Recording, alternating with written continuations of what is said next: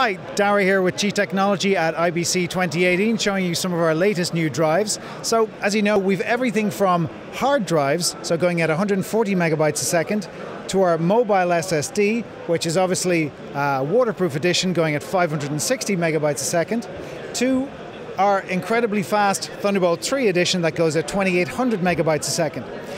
So this changes your life in a lot of ways. So if you're transferring one terabyte of data from a hard drive, that could take you 160 minutes. It could take you 30 or 40 minutes on a mobile SSD. It takes you seven minutes on this.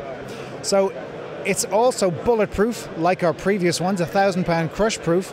It's got an aluminium heat shield, so it means that your writes are consistent. We don't have problems with thermal throttling on the drive. Uh, so that's our brand new baby.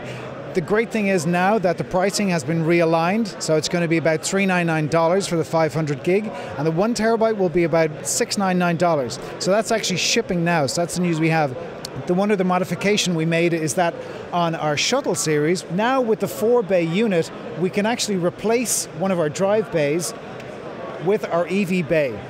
So this means if you've already bought a hard drive or an SSD unit, you can swap it out for an EV bay and replace it then with our Atomos, our CFast, or our RED readers, giving you total flexibility.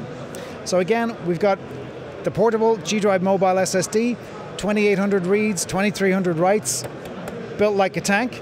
Then we've got our desktop version as well, up to 8 terabytes if you need more capacity. It's also got crazy endurance, so one full drive write per day. Normal SSDs have maybe 300, 500 terabytes written. If you multiply this out, it's about 14,000 terabytes written over the life of the drive. So that's for editors who are just crunching on the drive every day.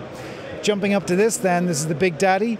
With the eight SSDs, that's 2,800 reads and writes, even in RAID.